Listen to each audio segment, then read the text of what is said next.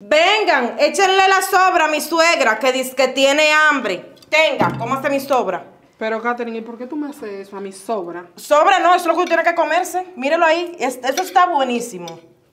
Pero porque sobra de lo demás. Dania, tranquilícese, usted no come hambre que tiene. El que tiene hambre come de lo que sea. Yo tengo hambre, pero no es para Cállese tanto. y tenga, que eso es lo que usted se merece. Comer sobras.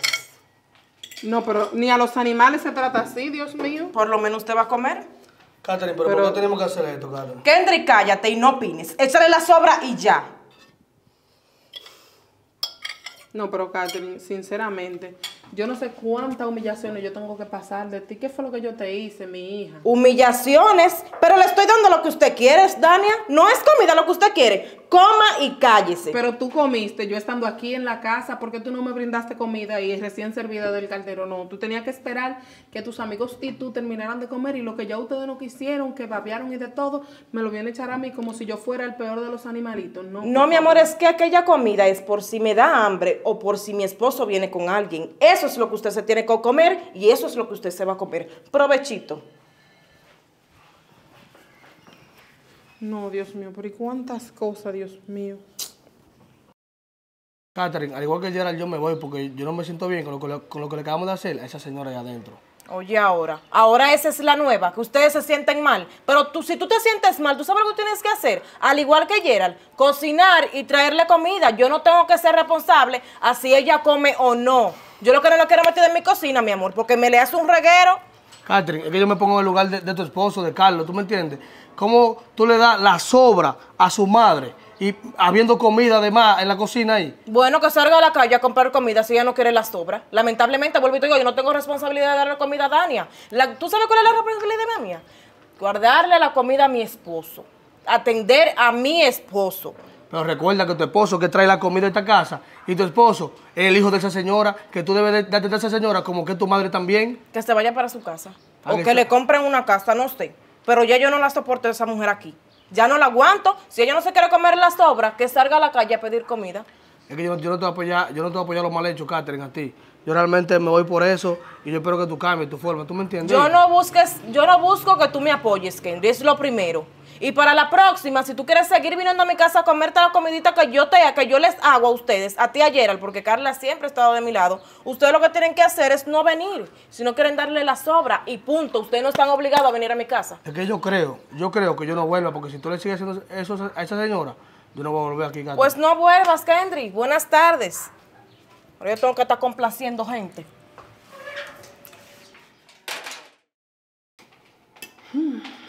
Dios mío, pero ella no ha comido nada. ¿Y cómo voy a comer si, no- si eso no es comida para un ser humano? Dime. ¿Cómo que no es comida? Yo veo comida ahí. Claro, pero sobra de otras personas, como que si yo me merezco eso. Yo, mira, yo iba a hablar contigo para que hable con ella, a ver si por favor ella cambia su forma, porque yo no sé por qué ella me trata a mí tan mal y así como con la punta del pie ella me trata. Mi amor, pero dale gracias a Dios que Katherine, aunque sea sobras, te da, porque si yo soy ella, ni siquiera las sobras tú ves. Pero Dios mío, mira, ella trae su coro con todos sus amigos, hombres, mujeres, y yo no digo nada, yo es no que tú no tienes por qué meterte en eso, porque que no se te olvide, mi amor, que tú eres una rimada aquí. Sí, es verdad, yo estoy aquí arrimada, pero no es porque yo quiero, porque es que mi hijo no, no puede pagarme a mí una pieza o una, o una casita para yo vivir, porque yo no estoy aquí por gusto, fue que, Bueno, mi, mi fue amor, que mi pues- casita se quemó. Te voy a dar una solución muy buena. Ponte a trabajar para que tú te puedas ir de aquí y alquiles una casa. Yo sí puedo hablar con mi amiga, claro, pero alenta- yo lo que puedo hacer es alentarla para que te saque más rápido de aquí. Dios mío, hombre, mira, mi casa se quemó, yo no estoy aquí por gusto, entiendan, Bueno, por favor. ¿y qué? ¿Y ahora qué es lo que dice la señora? Lamentándose aquí, mi amor. Mira, ni siquiera ha querido comer. Bueno, ¿Cómo pero si ella dice que tiene hambre y cuando te dan la comida no te la come, ¿qué es lo que tú pretendes que yo haga con usted, Dania? Catherine, pero yo estaba aquí cuando tú hiciste esa comida, ¿por qué tú no me serviste un plato a mí decentemente para yo comer? Y vuelve de nuevo a hacerme la misma pregunta. Yo, yo se la respondí esa pregunta. Si usted quiere, usted se come esa comida o va a la calle a pedirla, porque es que yo no tengo la responsabilidad de darle comida a usted. Catherine, no es necesario el maltrato que tú me estás dando a mí, porque yo, yo no me meto en nada de lo que tú Ah, hagas. bueno, ¿Y Dios eso es maltrato? No, Dania, pero Dios mío, dale gracias a Dios que por lo menos yo le estoy dando la comida. Carla, mira, mira, vámonos de aquí, al favor. Esto es inhumano, mi hija, esto es inhumano. No, inhumano lo que está haciendo usted, que usted quiere que a mi amiga que le dé un infarto o algo tratando con usted. No, mire a ver lo que usted hace, ubíquese. Hmm. Wow, Dios mío, ¿qué fue lo que yo hice para merecer esto? Mire, Dania, la comida. Ay, Marilyn, gracias, mi hija, porque usted no sabe del hambre que usted me está salvando a mí, de verdad. No se preocupe, Dania. Cuando quiera, yo le doy la comida. ¿no? Sí, mire, gracias, yo no he comido nada hoy. Oh, Dania, ¿podemos hablar? Oh, claro, Gerard, claro que sí, qué cómo bueno no. que la encuentro. Bueno, Dania, mire, lo que pasó el otro día en su casa, en realidad yo no voy con eso, Dania, porque usted no habla con su hijo, le dice la situación por la que usted está pasando. Mire, Gerard, lo que usted vio es poco para lo que yo soporto en esa casa. Lo que pasa es que yo no quiero causarle problemas a mi hijo y disgusto con su hogar y su mujer. Entonces, Sí, yo Dania, a veces pero- prefiero aguantar para no... No, Dania, porque mire cómo que usted está pasando hambre sin necesidad en esa casa, cuando él, yo sé que él mantiene esa casa muy suplida de alimentos y todo. Y mire, yo en realidad no voy con eso. Después de eso, yo dejé ese círculo de amistad, ya yo no hablo con, con ninguna de esas mujeres, porque bueno, eso, por eso que está no lo mal. veo en los coros que se arman allá, porque ella nunca deja de hacer su coro y su fiesta. Y yo le soy sincero, Dania, yo no, Carlos no sabe eso, es porque yo no lo he encontrado, porque si yo lo encuentro le voy a decir eso, porque usted no puede estar pasando por esa situación. Bueno, Gerard, le voy a ser sincera. Yo, de mi parte, Carlos no se va a dar cuenta porque yo no, yo no me atrevo a hablar cosas iguales con él porque, como le dije, yo no quiero causarle problemas en su matrimonio a él. Yo veo que él quiere su mujer y él le da todo a ella, él la trata a ella como una reina, entonces yo no quiero venir a causar un problema y que me saquen a mí de la casa. Usted sabe que mi casita se quemó y yo no tengo dónde vivir ni puedo pagar una pieza por el momento. Sí, Dania, yo lo sé, pero lo que está mal está mal y eso está mal. Pero como le dije, usted no debería de estar pasando por esa situación porque usted es una madre ejemplar y no se merece nada de esto. Mire, Nadie en el mundo se merece nada de esto. Pero como le dije, yo espero que esta situación se aclare y cambie. Y si encuentro a Carlos, le aseguro que él sabrá todo esto. Bueno, Gerard, gracias de todo modo. Hasta Gerard, que no, es, que no es de mi casa, ve lo que está mal. Y esa muchacha no tiene conciencia. Y Gerard, yo me salí del grupo, Gerard, porque yo no puedo aguantar eso, ¿tú me entiendes? Catherine está muy mal. Sí, yo también, Kendry. Después de eso, yo no he vuelto a ver más a esas mujeres. No, pero te voy a decir algo. Carlos no sabe eso porque yo no me topo con Carlos todavía. Lo mismo digo yo también. Y mira, y justamente acabo de hablar con Dania, que me la encontré por ahí. Y si tú supieras en la situación pidiendo comida, otra persona dándole comida, porque como te dije, está pasando por una situación muy difícil en su casa. No, pero no te preocupes, yo te voy a decir algo a ti, porque mira, yo, yo por esa situación que está pasando Carlos, mira, yo tengo que hablar con Carlos, tengo que ver a Carlos, y yo porque todo, he estado muy, muy yo- ajetreado aquí en el trabajo, pues yo busco a Carlos de que salga de aquí y me voy a topar con él, porque él tiene que hacer cuenta de todo lo que está pasando con su madre. Porque si esa fuera mi madre, y, y, y varias gente lo supieran, y yo no lo supiera, yo me sintiera demasiado mal, ¿tú me entiendes? Yo lo sé, Kendry, esa es la mejor opción. Yo espero que tú lo encuentres lo más rápido posible y hables con él, porque esto no puede seguir, está pasando, eh, seguir pasando. Ella no se merece nada de eso. No, no te preocupes, Gerald, tú llegas y yo cuando salga de aquí, yo voy a buscar a Carlos para decirle todo lo que está pasando. Está bien, hablamos. Ya tú sabes, Gerald, cuídate. Sí. Mira cómo está comportando Catherine. Lo mío, dándole la sobra a la, a la madre de su esposo. Pero no te preocupes, que cuando Carlos yo lo encuentre, él me va a escuchar. Carlos, Dime a ver, estoy esperando ¿cómo para decirte algo, manito. ¿Cómo así? ¿Qué es lo que pasa? Carlos, está pasando una situación en tu casa con tu madre, que yo en verdad, yo me puse en tu lugar, y yo dije, yo tengo que hablar contigo, y yo tenía unos días buscándote, y no te hubiese visto, macho, por el trabajo, ¿sabes? Está un poco atareado. Ajá. ¿Qué es lo que está pasando con mi madre? Porque Gerald me estuvo contando a mí antes de ayer algo similar. Ah, pues ya le estuve contando. Entonces ya tú eres la segunda persona que me quiere venir a contar algo. ¿Qué es lo que está Eso pasando? mismo, eso mismo que te contó ayer, eso mismo te voy a contar yo, Carlos, porque yo viví ese, ese mal momento, yo lo viví en tu casa ese día. Que tu esposa le está dando la sobra que queda de la comida que todo el mundo come a tu madre, porque pasó, pasó el día que yo fui, ¿tú me entiendes? Que hicimos compartir en tu casa, y yo vi que tu esposa, Catherine, le estaba dando la sobra y nos llamó a cada uno de nosotros para que le echemos la sobra a tu madre en el plato, habiendo comida de en la cocina, Carlos. Yo todavía no puedo creer eso. No entiendo las razones por las cuales Catherine se comporta con eso. También he tenido muchos problemas con ella porque Catherine no me respeta. Catherine para haciendo coro y fiesta en mi casa cada rato, haciendo cocinado, mientras yo tengo que trabajar de 8 de la mañana a 10 de la noche, trabajando. Entonces dejo a mi madre con Catherine, le está dando la sobra y aparte que le da la sobra a mi madre, tiene una fiesta en mi casa todos los días. Es otra cosa, Carlos, que tu casa prácticamente no se respeta. Porque ahí entra un coro nuevo cada rato, ¿tú me entiendes? Nosotros teníamos un grupo, yo me salí de ese grupo porque después que pasó eso en tu casa, yo, no he vuelto más, yo solo dije, Catherine, yo no vuelvo más que esta casa, porque tú estás haciendo eso mal, yo me pongo en el lugar tuyo. ¿Qué sería de mi esposa? Un ejemplo, que le haga eso a mi madre, un ejemplo.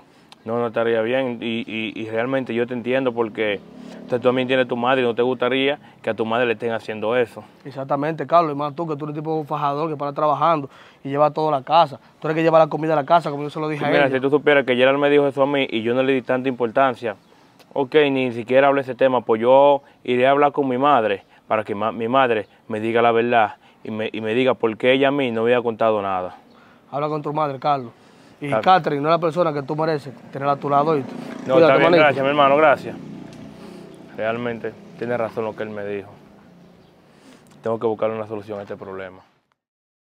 Mi amor, ¿y qué es lo que está pasando? ¿Cuál es el motivo de esta reunión? ¿Cómo que cuál es el motivo de esta reunión? ¿Tú sabes cuál es el motivo de esta reunión? Que tus propios amigos no aguantaron lo que tú estabas haciendo en mi casa y lo que tú me estás haciendo a mí y también a mi madre, que te aprovecha que yo trabajo de 8 de la mañana a 10 de la noche para tú hacer tu fiesta. Me contaron todo eso. Dándole Y- buena vida a esa mujer. y que aprovecha, y que aprovecha para darle la sobra a mi madre. Mami, estoy quillado con usted porque usted no me había dicho eso a mí anteriormente. Mijo, como ya te expliqué ahorita, yo lo que no quería era causar un problema y que ustedes tuvieran un problema por mi culpa, donde yo estoy aquí temporalmente por el motivo que ya sabemos. Mami, es que si su casa se quemó, mami, usted no está aquí temporalmente, donde yo estoy, usted que tiene que estar, y Catherine como mi esposa, o como era mi esposa, porque tú y yo acabamos de terminar, si no lo sabía, tenía que respetar eso. ¿Cómo tú agarras y le das la sobra a mi madre de la fiesta que tú haces con tus amigos? Pero como ¿cuál si mi madre fuera un animal. Pero ¿cuáles fiestas? ¿Cuáles obras? Si yo de aquí ni siquiera salgo y no traigo gente. Mija, tú sí eres cínica y todavía te están negando tus propios amigos, los que te acompañaban aquí a tus festejos. Fueron los que hablaron con él, no fui yo. Yo simplemente corroboré lo que ya se ha dicho. Yo no fui la que hablé, por si acaso. No, Pero usted, usted sabe, Dania, que aquí yo no traigo gente, Dania. No, gente no, porque pasan de animales, lo que tú te traes para acá, porque son igualitos que, igualito que tú, igualitos o peores. Porque una Carla, Entonces tú quieres haber dicho que mi madre es la que está hablando mentira, entonces. yo no soy mentirosa, no Mira, somos iguales. mami hizo suficiente con aguantar sin nunca decirme nada a mí. Suficiente hizo mami con aguantarte toda tu fiesta aquí que tú hacías y con que la trate a ella como si no fuera un ser humano. ¿Tú sabes algo? Yo quiero que tú recojas tu ropa y te me vayas de mi casa, Catherine, porque lo tuyo no hay donde ponerlo. En serio, dale la sobra a mi madre de tu comida, como que tú eres mejor que mami. Amor. ¿Qué tú te crees que eres? Mi amor, nadie por favor, es mejor que perdón. nadie, mi hija. Oye, Mi amor, cambia. perdón. Yo trabajando en esta casa para traer la comida, darte una vida lujosa sin tú estar trabajar, para tú aprovechar y hacerme eso a mi espalda, hacer fiesta en mi propia casa sin que yo me dé cuenta y tratar a mi madre de la forma que tú la tratabas. Catherine, esto no es normal, así que recoge tu ropa y te me larga. Mija, trata de cambiar para que no fracase en la vida. Mi amor, porque yo- hoy tú perdiste un buen hombre por tu mala actitud y tu mala forma. Mi amor, Solo yo- te digo. Mami, no saben valorar a la persona que tienen No al lado saben, no y por eso terminan solos y van a terminar solas como tú estás terminando. Así que recoge tu ropa y te me larga y, te- y vete para la casa de tus amiguitas. Así que te me larga, por favor. Lamentablemente, llama a Carla ahora. Perdónenme, de verdad. No, es que yo no tengo por qué perdonarte. Recoge tu ropa y te me va. Mami, con usted. Con usted, mami. Mijo, de verdad, mira, como te expliqué, que no quería causarte problemas. Mami, ¿qué causa el problema? No, que tú de la vida tiene una solución. Mire, tuvo una solución, que Catherine vaya, recoja su ropa y se me vaya de mi casa. Porque usted es mi madre y a usted hay que respetármela y tratármela bien. Y yo no quiero que eso vuelva a pasar. Que usted vuelva a estar calladita, aguantando, sin decirme nada a mí. Que yo tenga que enterarme por otra persona y no por usted. Que yo sé que usted es mi madre y usted a mí no me hablaría mentira. Si usted de un principio me había dicho eso a mí, no tenía que haber, no tenía que haber aguantado todo lo que usted aguantó. No, es verdad, yo, en verdad, fue un error mío no comunicarte lo que estaba pasando aquí, pero yo con la esperanza de que ella cambiara y eso, imagínate, pero nunca lo hizo, lamentablemente. Que se quede en la calle, ¿verdad? Y que tú te quedes aquí conmigo. Mami, vengo ahora. Amiga, qué bueno que te encuentro, ya que veo que vas de salida. Sí, voy de salida, pero ¿y tú con esos bultos? ¿Para dónde vas? Yo venía a hablar contigo, a ver, porque Carlos y yo acabamos de terminar, por todo lo que yo he hecho, se dio cuenta de absolutamente todo. Ay, Dios mío, ¿y cómo él se dio cuenta? ¿Quién se lo dijo? ¿O te encontró en algo? No, nuestros amigos, tú sabes que ellos nunca tuvieron de acuerdo con nada de lo que yo no, hacía. mira, yo eso como que lo sospechaba, que ellos iban a hablar porque ellos no se sentían cómodos con esa situación. Realmente sí. Pero bueno, amiga, te voy a desear suerte. Yo voy de salida o me quieres decir otra cosa. Claro, amiga, porque yo vine para que tú me ayudes, para que me des un tiempo en tu casa. Que tú te sabes que no tengo dónde estar. Bueno, amiga, viniste para el sitio equivocado, de verdad que sí, porque yo no puedo recibir una persona como tú en mi casa. Es en serio, Carla. O sea, tú me estabas involucrando en todo lo que yo hacía en mi casa y ahora tú me das la espalda, yo considerándote mi amiga. Sí, yo me estaba involucrando, pero todo yo lo hacía por diversión, no que en mi corazón yo haría eso. Imagínate a ti, que yo te deje a ti aquí en mi casa y que tú hagas eso con mi madre. Yo no lo voy a permitir y ni siquiera quiero que pase. Así es que voy a evitar todo eso. Dios mío, Carla, no sabía que ibas a reaccionar de esa manera. Bueno, amiga, yo lo siento mucho, pero no te puedo recibir. De todos modos, gracias. De nada, cuídate. Ay, no, no puedo tener una persona así viviendo en mi casa y más mi madre que está enferma. Mm, mm. Lo perdí todo y todo por mi forma de ser.